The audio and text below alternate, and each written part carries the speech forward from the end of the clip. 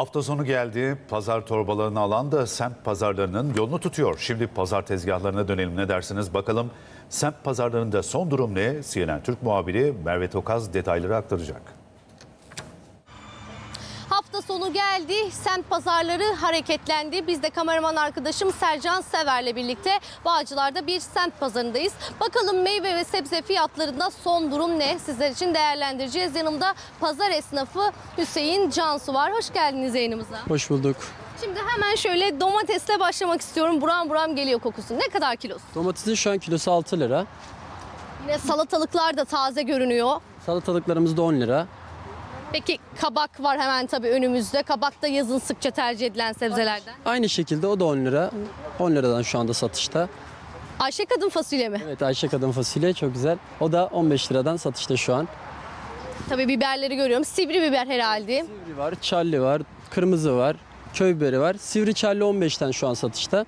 Ça- kırmızı biber 10 liradan, köy biberi 15'ten satışta şu anda. Şöyle patlıcanları da görüyoruz tabii.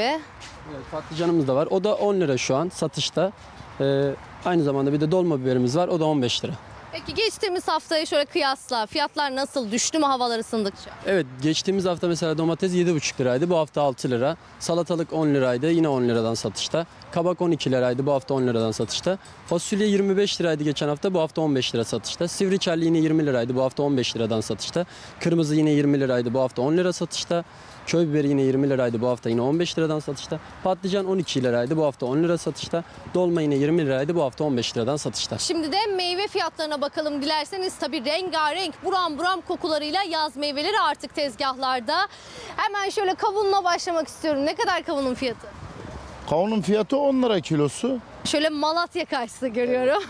ne kadar fiyatı? Malatya kayısı 30 lira.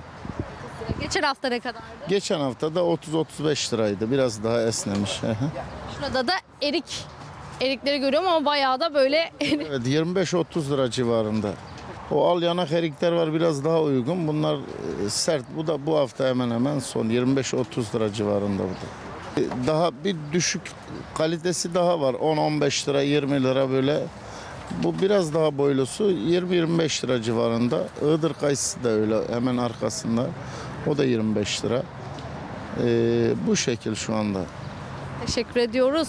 Kameraman arkadaşım Sercan Sever'le birlikte Bağcılar Semt Pazarı'nda sizler için güncel sebze ve meyve fiyatlarını araştırdık, değerlendirdik diyelim ve sözü bu noktadan yeniden merke- merkeze bırakalım.